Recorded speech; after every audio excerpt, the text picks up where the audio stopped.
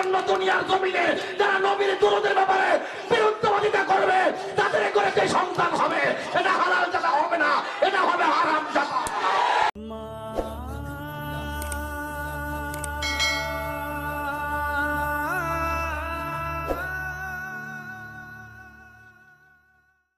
আল্লাহ একটা বিয়ার কাজই নিচ্ছে সরাসরি, এটা হলো আদম আর হাওয়ার বিয়া। কাজাইয়া বিয়া মহারানা দিব কই? মহারানা নাই, ডাক দিয়া কয়, ও আমার আল্লাহ গো, ও আমার আল্লাহ, এখন আমার সব কয়, না, মহারানা বাকি আছে। ডাক দিয়া ও তোমরি এই মহারানা না দিলে হাওয়ারে কাজ করা যাবে না। আমাদের মারে আদমে বাপে কাজ করতে পারছে না। মহারানা না দিয়া এই জন্য তুমি, আমিও মহারানা ছাড়া, মহারানা উল্লেখ ছাড়া না দেওয়া ছাড়া বিয়া শুদ্ধ হয় না, কথা কোন ঠিক কিনা?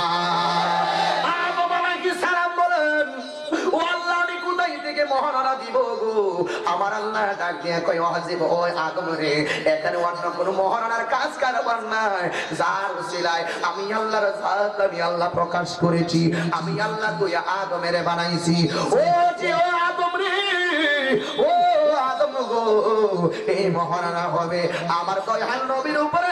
দশ বার যদি দুরুশ্বরী পড়ো গো, এই দশ বার দুরুদি হইয়া যাবে আমার তোমার বিয়ের মহারানা এই জন্য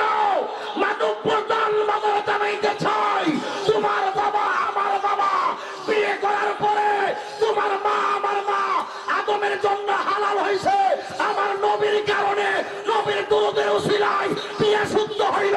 আজীবন তোমার বাবা দুরুদের মাধ্যমে হালাল হয়েছে।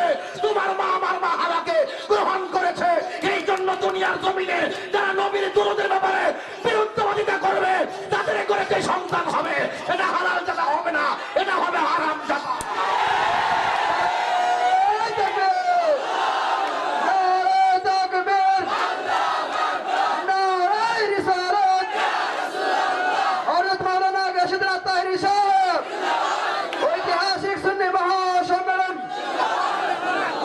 ঠিক কিনা বলুন?